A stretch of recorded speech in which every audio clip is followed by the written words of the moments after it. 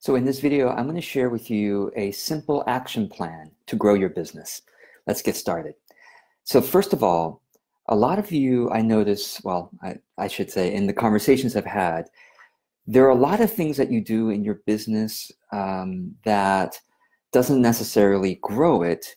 Uh, it might be providing some foundation, like you're kind of getting things ready, you're, you know, figuring out your scheduling, or you're, you know you're you're working on your your office chair or whatever whatever it may be um, but let me give you some questions to guide your daily and weekly actions and really i'm going to share i'm, I'm going to share in terms of the week because uh, and you know you might do uh, things on different days than uh, than I do.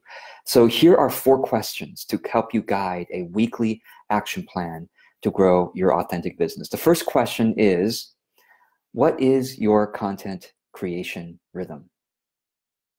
That is, to me, the most important question. And if you don't answer that question, you will continue to procrastinate about building your audience because without creating content, how do you build an audience? Uh, please tell me how. Actually, I would be curious if you're trying to build an audience in a way other than creating content.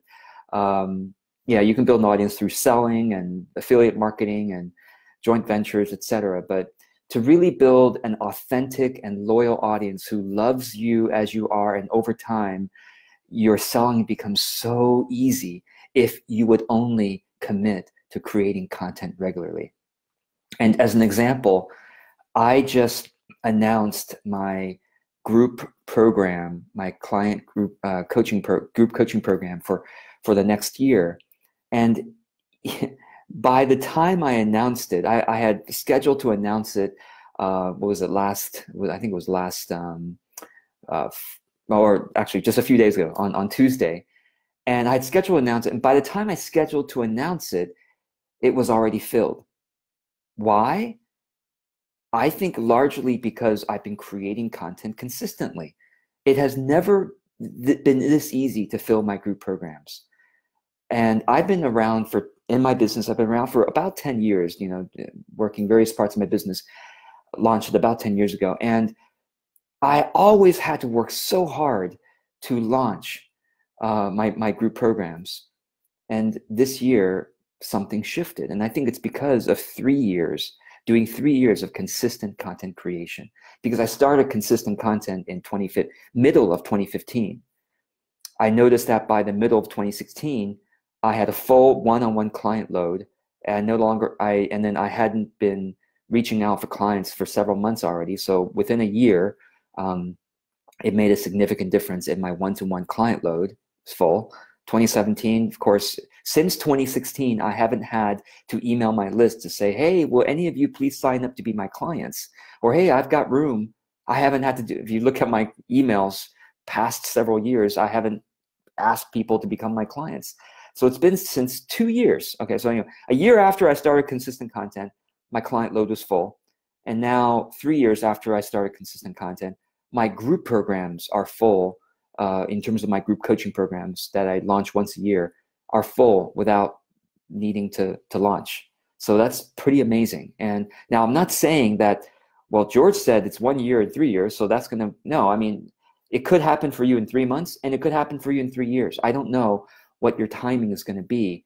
But I do know, based on my own experience and based on watching lots of clients do this, that it works. Now, if you create consistent content so that you'll get clients, your audience is going to sense that. And it's going to come across as probably a bit more salesy than, than you actually are.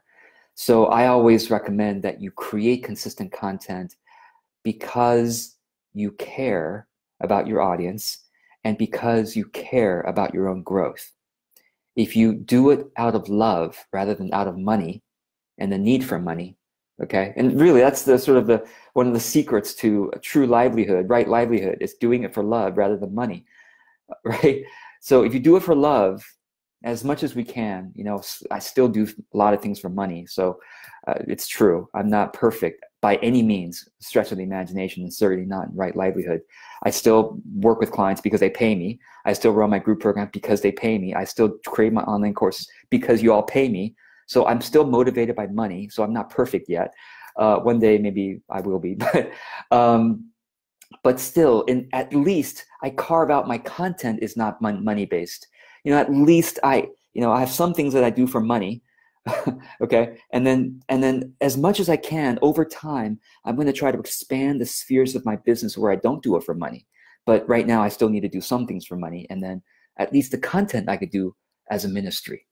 So that's and that's probably something all of us can do and really i think all of us should do. It's actually smarter business wise to do the content without thought of money right? It's actually ironically more strategic business wise but anyway um, that's the first question I have for you is what is your content rhythm?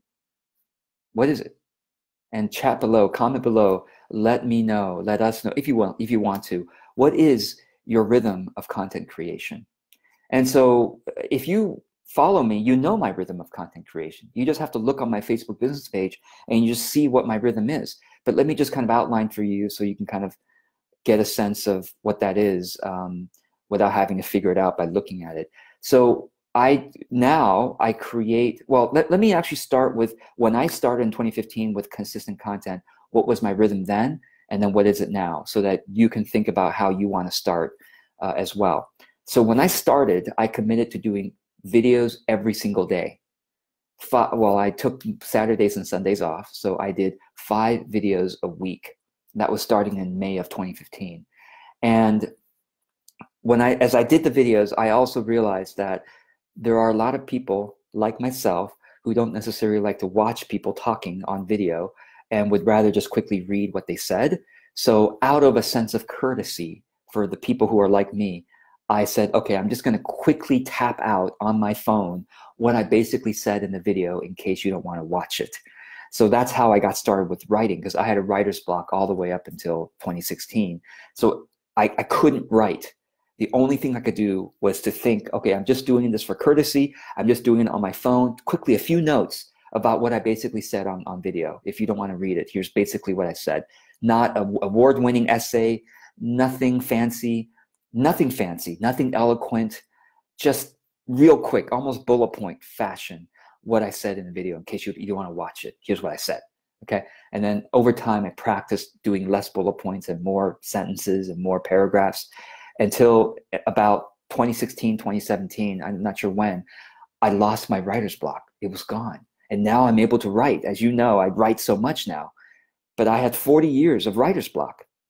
And yeah, because all my life I hated writing. Hated, hated, hated it.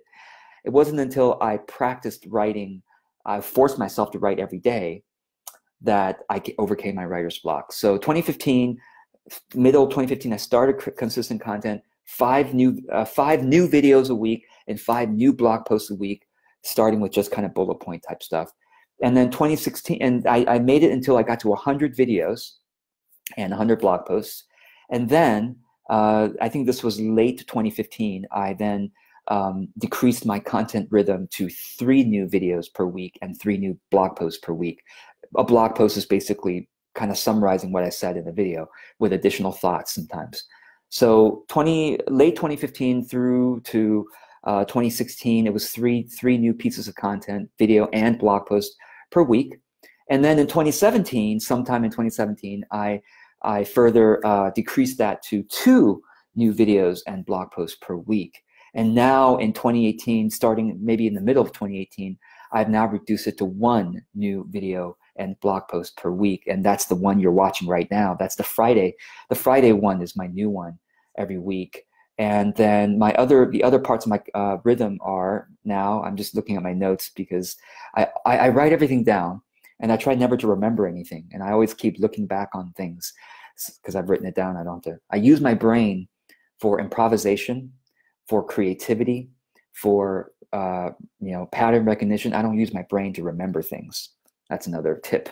I always write everything down. I try to refer. So here's my rhythm new content, uh, blog post, video and blog post each Friday. On Mondays, I take a previously well-received blog post and I just put it on a Facebook status update. long, long status update you've seen it, just text only. On Tuesdays, I re-edit one of my previous blog posts and I make a, a new video, uh, you know, on the topic of that old blog post. So that's Tuesdays. On Wednesdays, I re-edit an old blog post and I reshare it as a blog post. Okay, so and then on Saturdays, um, not this week, but usually most Saturdays, I interview an, uh, one of my clients and have them share a business lesson that they've learned that can help you as well, and also have them share something from their expertise, teach you something from from what they know. Um, okay, so that's the first question I have for you: is what is your consistent content rhythm? All right, got it. First question: What is your consistent content rhythm. Knowing that it'll change over time, but you got to start with something and then let it evolve over time. So, what is it? You can't just say, Well, I make content when I'm inspired. I made a whole other video about that, why that's such a bad, not a bad, but it's it's not effective as a strategy. I've seen so many people, I've had so many colleagues and friends who tell me, Well, I just make content when I'm inspired. And they never do. like they do it too few. The more content you make, the better you get at it. Okay? If you just do it when you're inspired, you learn very, you grow very slowly. That's why when I started, I did five a week because then I grew very fast. So if you want to grow fast, you do content every day. No questions asked, no excuses. I don't care if you're sick. I don't care. I don't, not that I don't care. I, of course I care if you're sick, but um, you shouldn't care if you're sick. Uh, you should take care of yourself and do content that day. That's it there's one thing you do that day, you do content. Okay. Besides brushing your teeth, going to the bathroom, and drinking water and getting lots of sleep, the other thing is content. Okay. if you're sick, get lots of sleep, you know, drink water, drink warm water, and then do content. Those are the only three things you should be doing when you're sick. Okay. that's it. All right. So that's the first question. What is your consistent content rhythm? Because it helps you grow and helps other people grow and it grows your audience, grows your business, blah, blah, blah, blah, all that, all those benefits. The second question is, what is your content distribution plan? Because if you create content, but nobody's seeing it, well, eh, very few people are able to create content without people seeing it and still feel encouraged to continue. There's very few people. I think, um, yeah, some of you may, may have that discipline, but most of us don't.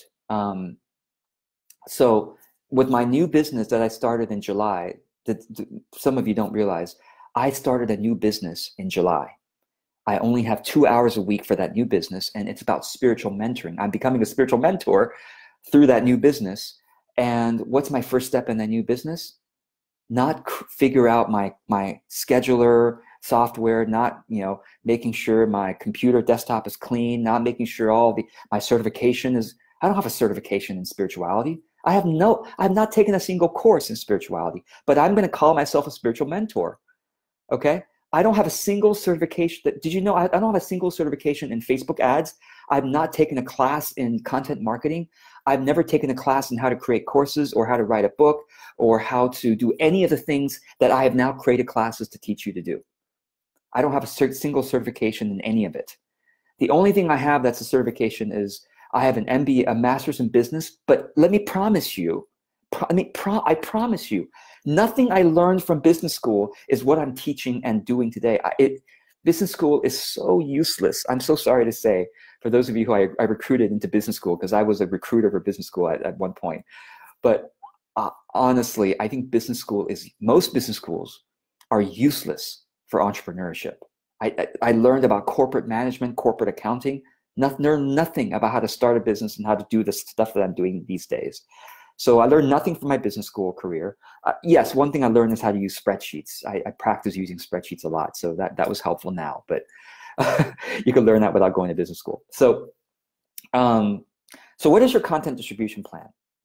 Uh, so just to close that other comment, in my new business that I only have two hours a week for, all I don't even know what I'm going to sell. I don't have any offerings yet. I don't know what I'm I don't know how I'm going to frame what I sell. All I'm doing right now is creating content and distributing it. So that's what I spend my 2 hours a week and my new business on. I don't even have a website. I don't even have a website for that new business. But I, I already have 2,000 uh, Facebook engagers. So I all I did was I created a new Facebook business page and I got started. no website, and I even changed my business name, uh, my brand name, in you know a, a, month ago. So a few months in, I changed my brand name because I realized it wasn't that great, and I might still change it. So I haven't figured out my brand. I haven't figured out anything. I just kind of got started with creating content, two hours a week, distributing it through Facebook ads, and now I have about 2,000 people who have engaged with my content in the last 90 days. Uh, I counted by 90 days, but it's I started in July. Um, so, what is your content distribution plan? How are you getting people to see your content? Go ahead and comment below. I would love to know. Pause this video now and comment below um, on what your content, how, how are you getting people to see your content? Okay, let, let me go ahead and share what I do. Um, in my current business, uh, I should tell you what I, I told you what I did in my new business. I don't have a website. I don't have an email newsletter. I don't have anything except for a Facebook page, and I just run Facebook ads to new audiences. That's all I'm doing for, for that's my entire content distribution plan for my new business. Uh, I'm slowly working on creating a website. I'm going to have an email newsletter at some point. I'm going to have other social media channels, but Facebook is number one, and Facebook ads is number one. Okay. So with my current business, if you already have a business, if you already have a website, an email newsletter, here's what I do for my content distribution. One is I have a weekly email newsletter that shares my latest content. I hope you're getting my weekly email newsletter. If not, go to georgekao.com slash um, email, georgekao.com slash email. And there you can decide if you want to join my uh, weekly email newsletter or my monthly newsletter. Um, the, the weekly one basically shares my latest post and my monthly one shares the best post of the previous month. So that's simple. Um, and then besides weekly newsletter, uh, I do Facebook ads for this business as well, of course. I, I run uh, ads to cold audiences as well as warm audiences. I have an entire course on Facebook ads if you want to learn how to do that, how, how I do that, etc. Um, and the third, my third piece of content distribution is um, I just post my my things to uh, LinkedIn and Twitter. I literally take five minutes a day, less three minutes a day, whatever I posted to Facebook, I take an additional minute and a half to share it on Twitter and an additional minute and a half to share it on LinkedIn. That's it. I spend three minutes a day on LinkedIn and Twitter combined. That's it. Um, okay, so that's the second question is what is your content distribution plan? So again, first question, what is your consistent content creation rhythm? Number one most important question. Number two is what is your content distribution plan? Okay. Number two, most important question. Now, number three, most important question is what is your what is your launch plan? What is your plan for inviting your audience to work with you to buy your things? Eh, let me know. And I, I think most of you watching this are probably like, what do you mean? I, I don't have a plan. I just, when I have something new to sell, I sell it. right? And that's, that's okay. But I would rather you have a consistent rhythm of invitations and launches and offerings because your audience will get accustomed to that rhythm and it makes it easier to sell anything. Here's a secret here. Here's a here's a quote unquote secret. If you only sell things on a random basis, you will probably feel salesy. And your audience will feel like it's salesy and promotional. But if you sell on a consistent basis, that's not too often, but that's consistent, your audience will start to see, oh yeah, George Kao has a monthly monthly course that he sells us. He has a yearly coaching program that he sells us. He has a, a book that he launches every six months. There you go. I just told you my my my my uh, launch rhythm. So I have a, a monthly course that I sell you. I have a yearly program that I launch, you know, in the fall of each year, group coaching, and then I have my my a new book or a re-edited book every six months that I launch. Uh, if I needed one-on-one clients, I would be making an invitation probably at least once a quarter to my email list, to my Facebook, you know, et cetera, to say, hey, I've got room for one-on-one clients. Uh, if you're interested, you know, I've got, I'm going to do, um, you know, 20 exploratory calls in the next 30 days. Uh, sign up for one of the 20 if you're thinking about working with me, something like that. So what is your plan? What is your rhythm? What is your schedule for launching, making offers, uh, inviting your audience to take the next step with you? Something for you to think through, okay? So, and then the fourth, the fourth uh, question, which I'll be honest, I've neglected the fourth question, and by making this video, by writing this blog post, I've I'm kind of renewing myself with this fourth question. What is what is your plan for connections? Some of you are actually quite good at it. Some of you go to regular networking events. Maybe you reach out to old colleagues, old clients, potential referral sources. Maybe you have some regular thing that you do. I haven't. I, I mean, I think in the past when I needed clients, I, I was definitely more regular with this stuff. But ever since I haven't needed to get any more clients in the past couple years, I've dramatically lost my incentive and my rhythm of connection, you know, regular networking connections. And and and now I'm renewing it. And um, the way I'm renewing it now is I'm reframing it not as networking, but as net caring. Net caring. Now, I thought I came up with that, but I, I Googled it earlier. I'm like, oh, a bunch of people have used the word net caring, so I didn't come up with it.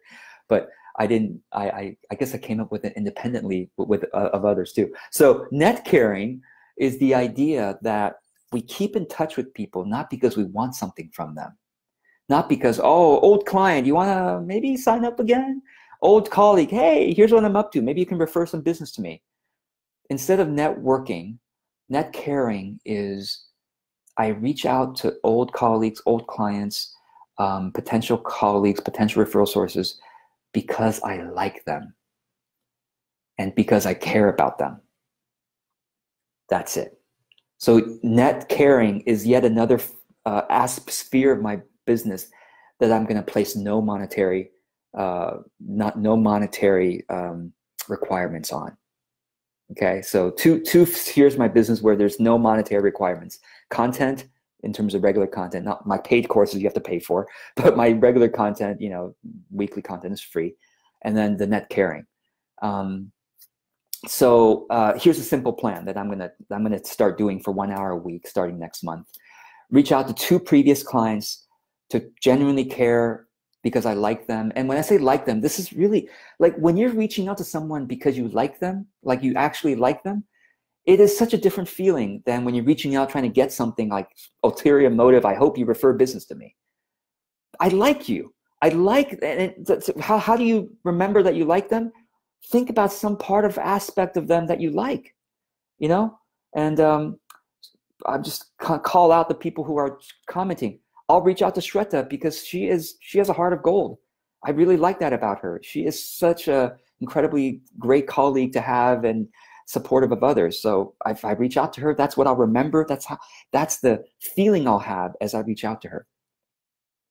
Angela, she is um, has huge potential in terms of content and being a, a leader, uh, especially for women in the workplace and that's what I like about her. And so when I reach out, that's I'm like, yeah, that's what that's where she shines. That's what uh, you know I'm seeing as um, what I really appreciate about her presence in the world.